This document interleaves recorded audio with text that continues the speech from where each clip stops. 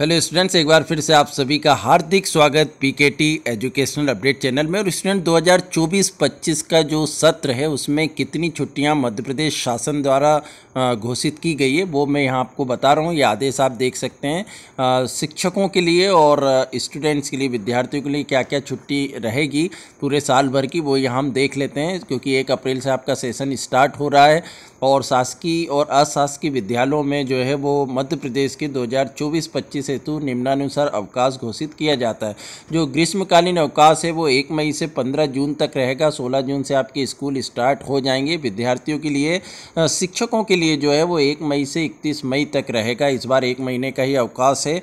वहीं दशहरा जो है, वो ग्यारह अक्टूबर से तेरह अक्टूबर दो हज़ार चौबीस तक आपकी छुट्टियाँ रहेगी। ये टीचर्स और स्टूडेंट दोनों के लिए है।